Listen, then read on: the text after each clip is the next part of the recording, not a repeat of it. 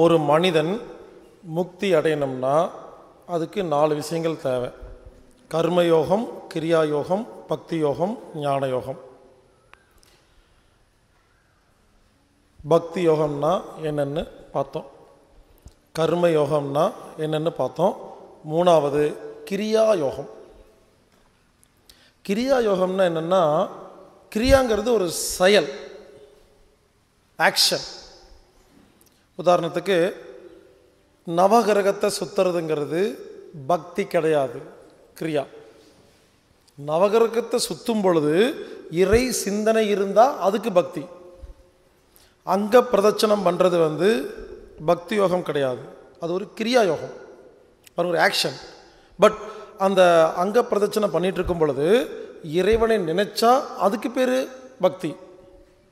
நம்ம கோயிலில் போய் நவகரத்தை சுற்றும் பொழுது சுற்றிட்டு இருக்கும் பொழுது இன்றைக்கி காலையில் பத்து மணிக்கு போய் ஆஃபீஸ் திறக்கணும் இன்றைக்கி பிஸ்னஸ் அப்படின்னு கவனமெல்லாம் பிஸ்னஸில் இருந்தால் அதுக்கு பேர் பக்தி கிடையாது. ஒரு கிரியா. சுற்றும் போது உடம்புக்கு என்ன எக்ஸசைஸ் நடக்குது. கிரியா வேறு பக்தி வேறுங்க. அப்போ கிரியான்னு என்ன? மூச்சு பயிற்சி தியானம் யோகா வாக்கிங் எக்ஸசைஸ் ஜாக்கிங் எல்லாமே கிரியா யோகமே தவிர பக்தி யோகம் கிடையாது. பக்திங்கிறது வேறு கிரியாங்கிறது வேறு. ஸோ எதுக்கு சொல்ல வரேன்னா எல்லோரும் கண்டிப்பாக கிரியா யோகம் செய்யணும். அந்த காலத்தில் எல்லாத்துக்கும் எவ்வளோ உடல் உழைப்பு இருந்துச்சு? நிறையா பேர் தண்ணி எடுக்கிறதுக்கு நாலு கிலோமீட்டர் நடந்து போயிட்டு வருவாங்க. யோசிச்சு பாருங்கள் அப்போது அந்த காலத்தில் உடல் உழைப்பு அவ்வளவு இருக்கும் பொழுதே கிரியா யோகம்னு வச்சுருந்தாங்களா இல்லையா? இப்போது எல்லோரும் காரில் போகிறோம் சோபாவில் உட்காந்துருக்குறோம் வீட்டில் எந்த வேலையெல்லாம் செய்கிறதில்ல அப்போது நம்ம கிரியா யோகம் வேணுமா வேண்டாமா? புரிஞ்சுக்குங்க. கிரியா யோகங்கிறது என்னென்னா தினமும் ஒரு அரை மணி நேரம் இல்லை ஒரு மணி நேரத்தை நாம் உடல் மனம் புத்திக்காக ஒரு பயிற்சி செய்கிறது தான் கிரியா யோகம்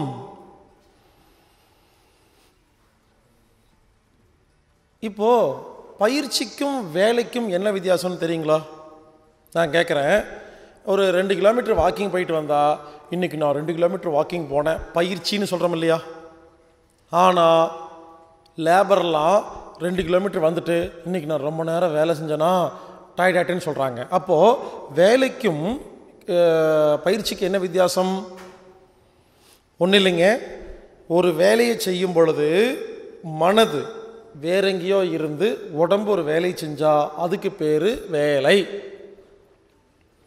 புத்தி மனசு உடம்பு மூணையும் ஒன்று சேர்த்து ஒரு வேலையை செஞ்சால் அதுக்கு பேர் பயிற்சி. துணி துவைக்கும் பொழுது கவனமெல்லாம் துணி துவைச்சிட்டு இருக்கும் பொழுது டிவி பார்த்துட்டு சீரியலை பார்த்துட்டு கவனமெல்லாம் அங்கே இருக்குது. அப்போ அதுக்கு பேர் வேலை.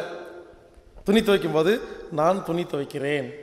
நான் துணி துவைக்கிறேன்னு கவனத்தை துணி துவைக்கிறதுல வச்சா அதுக்கு பேர் கிரியா. அன்னைக்கு நீங்கள் பயிற்சி பண்ணிட்டீங்க.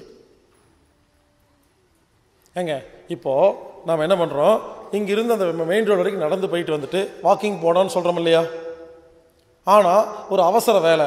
அந்த கடைக்கு போயிட்டு வாங்குறோம். போயிட்டு என்ன பண்ணுறோம் ச்சே கடைக்கு போயிட்டு வந்திருக்கிறேன் வேலை. அப்படி சொல்கிறோமா இல்லையா? ஸோ விருப்பம் இல்லாமல் மனதை எங்கேயோ வச்சுக்கிட்டு ஒரு காரியம் பண்ணும் பொழுது அதுக்கு பேர் வேலை. விருப்பத்தோட கவனத்தை மனதில் வச்சு செய்யும் பொழுது உடம்புல வச்சு செய்யும் பொழுது அதுக்கு பேர் கிரியாங்க. நான் என்ன சொல்கிறேன்னா அதனால் தயவு செய்து புரிஞ்சுக்குங்க. ஒரு நாளில் எவ்வளவு நேரம் நம்மளுடைய ஆக்ஷனை நமது செயலை நாம் வாட்ச் பண்ணுறோமோ அன்னைக்கு நிறையா கிரியா பண்ணிட்டோம். நாம் என்ன பண்ணுறோம் நம்மளை வாட்ச் பண்ணுறதே இல்லை. இப்போது சவாசனம் பண்ணும் பொழுது யோக பண்ணும் பொழுது நம்மளை நாமே கவனிச்சோமா? எவ்வளோ உடம்பு நல்லா இருக்குது? இன்னமும் உள்ளுக்குள்ள மாற்றம் ஏற்படுதா இல்லையா? கவனிக்கிறது இல்லைங்க. நான் என்ன சொல்கிறேன்னா கிரியாங்கிறது நம்மளை நாமே கவனிக்கிறதுக்கு பேர் தான் கிரியா. ஒன்று மரியாதையாக டுவெண்ட்டி ஃபோர் ஹவர்ஸும் நம்மளை நாமே கவனிச்சுட்டு இருக்கணும். அது தெரியலையா? அரை மணி நேரம் ஒதுக்கிடணும். இவருங்க பாருங்க யோகா மூச்சு பயிற்சி தியானம் செய்கிறதெல்லாம் எல்கேஜி. யோகா மூச்சு பயிற்சி தியானமே செய்யாமல் இருக்கிறது பிஹெச்டி இது பழகுறோம். யோகா செஞ்சு பழகுறோம். நம்ம உடம்புல கவனம் வைக்கிறோமா? இருபத்தி நாலு மணி நேரமும் நம்மளே நாமளே கவனிச்சோம்னா எதுக்கு யோகா பண்ணணும்? எதுக்கு மூச்சு பயிற்சி பண்ணணும்? எதுக்கு தியானம் பண்ணணும்? புரிஞ்சுங்களா? நம்மளை நாமே கவனிக்கிறது தாங்க உலகத்தில் மிகப்பெரிய பயிற்சி. இதை நிறைய பேர் சொல்லியிருக்காங்க. ஓசோ சொல்லியிருக்காங்க ஜேகே சொல்லியிருக்காங்க பல பேர். எல்லாரும் சொல்கிறது அப்சர்வர் அப்சர்வரை அப்சர்வ் பண்ணுங்கன்னு சொல்லுவாங்க. நம்மளை நாமே வாட்ச் பண்ணுங்கங்கிறது தான் கிரியா யோகம். ரொம்ப சிம்பிளுங்க இனிமேல் நம்மளை நாமே வாட்ச் பண்ணணும். அது ஆரம்பத்தில் முடியாது. அதுக்கு தான் பயிற்சி வாக்கிங் போகிறது யோகா பண்ணுறது எக்ஸசைஸ் பண்ணுறதுன்னு முதல்ல செய்யும் பொழுது பாருங்கள் கை எப்படி சுற்றுங்க அப்படிங்கும்போது செய்கிறோமா பயிற்சியாக இருக்கா? இதே வீட்டில் ஒரு ஸ்க்ரூ டிரைவர் வச்சு ரெண்டு போல்ட்டு மாட்டிட்டு ஐயோ கை வலிக்குது சொல்கிறமா இல்லையா? ரெண்டுக்கு என்ன வித்தியாசம்? வேலை கிரியா. அதனால் இங்கே பாருங்கள் எல்லாத்துக்கும் சொல்கிறேன் தயவு செய்து டெய்லி ஒரு அரை மணி நேரம் ஒதுக்குங்க. ஒரு மணி நேரம் ஒதுக்குங்க. கிரியாக்குன்னு ஒதுக்கிடுங்க அது ரொம்ப முக்கியம். நீங்கள் டெய்லி ஒரு மணி நேரம் யோகா செஞ்சு பாருங்கள் அன்னை நாள் உங்கள் கண்ட்ரோல் இருக்கும். ஸ்மார்ட் ஒர்க் பண்ணுவோம். யோகா பண்ணாத அன்னைக்கு பயிற்சி பண்ணாத அன்னைக்கு நான் யோகாங்கிறது யோகாசனம் சொல்ல பயிற்சி பண்ணாத அன்னைக்கு நாய் மாதிரி சுற்றுவோம் எதுவுமே உருப்படாது. பயிற்சி பண்ணுற அன்னைக்கு கொஞ்சமாக தான் வேலை செய்வோம். எல்லாமே உருப்படும். கூட்டி கழிச்சு பணம் கரெக்ட் கரெக்டாக தான் இருக்கும். ஸோ கிரியா யோகங்கிறது என்னென்னா தினமும் எல்லாரும் வாக்கிங் யோகா எக்ஸசைஸு எதையாவது ஒன்றுங்க ஒரு பயிற்சி கண்டிப்பாக வச்சுக்கோங்க. ஏதோ ஒரு பயிற்சி. உங்களுக்கு எந்த குருநாதர் எந்த பயிற்சி என்ன பிடிக்குதோ அட்லீஸ்ட் வாக்கிங்காவது போங்க. ஜாக்கிங்காவது போங்க.